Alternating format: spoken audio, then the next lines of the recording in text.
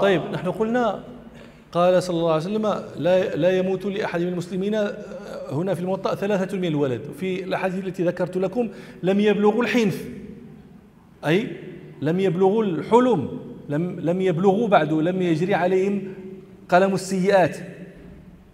قلم الحسنات هذا جار وهذا فضل ربنا.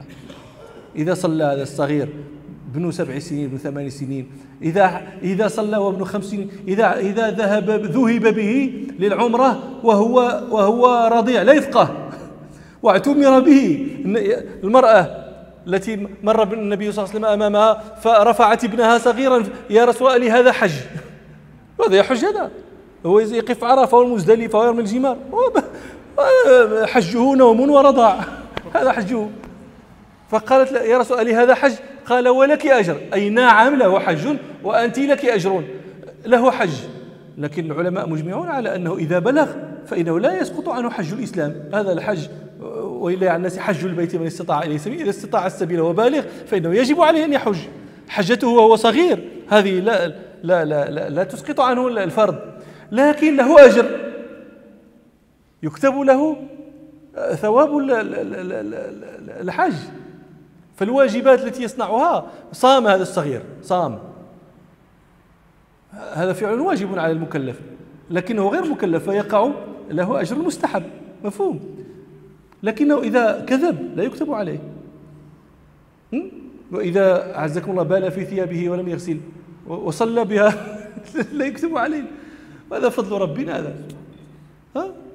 تجلية الكرم في الكريم سبحانه.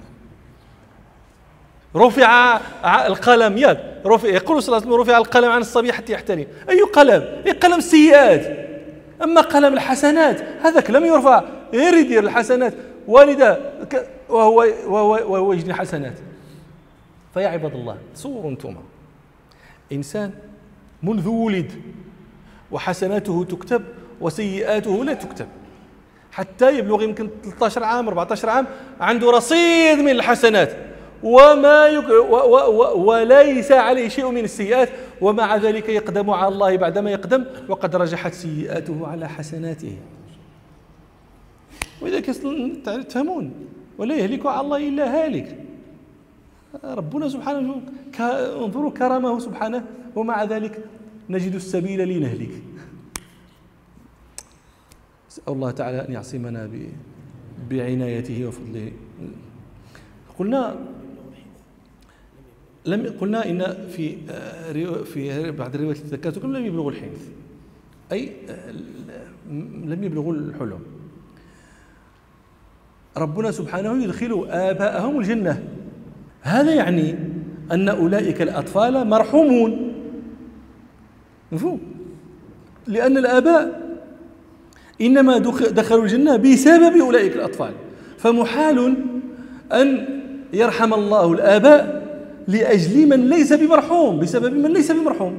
وهذا إجماع من المسلمين أن أطفال المسلمين مرحومون أنهم في الجنة أطفال المسلمين الذين يموتون قبل أن يبلغوا الحلم في الجنة. هذا إجماع من المسلمين. إلا فرقة من الشذاذ. شذوا فقالوا هؤلاء الأطفال في المشيئة. معنى في المشيئة؟ يعني إن شاء الله غفر لهم وإن شاء عذبهم فهم في المشيئة. وهذا قول شاذ مهجور ترده الأحاديث. التي ذكرت لكم حديث أبي هريرة في مسلم. فلا ينتهي أو قال لا يتناهى حتى يدخله الله وأباه الجنة. أو يدخله وأباه الجنة. وحديث أبي هريرة عند أحمد ذكرت لكم فيقال لهم قوموا ادخلوا الجنة أنتم وأبواكم. روى النسائي عن قرة بن إياس قال كان رسول الله صلى الله عليه وسلم إذا جلس يجلس إليه نفر من أصحابه. وكان منهم رجل له ابن صغير يأتيه من خلف ظهره فيقعده بين يديه. فمات ذلك الابن. فانقطع الرجل عن الحلقة التي كان يأتيها إلى النبي صلى الله عليه وسلم فيها. انقطع لذكر ابنه.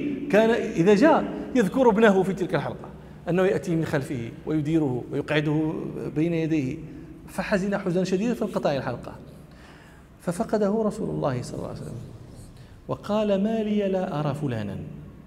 فقالوا يا رسول الله بنيه الذي رأيته هلك. فانقطع هو لذلك. فأتاه رسول الله صلى الله عليه وسلم فعزه على ابنه وقال له يا يا فلان أيما كان أحب إليك أن تمتع به عمرك؟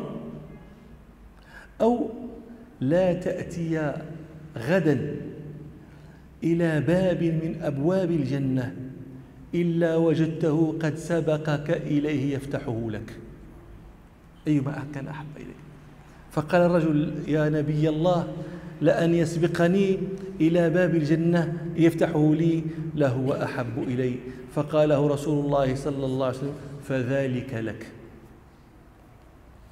فهذا الحديث هذه الأحاديث ذكرناها وما في معناها تدل دلالة صريحة واضحة على أن أولاد المسلمين يدخلون الجنة.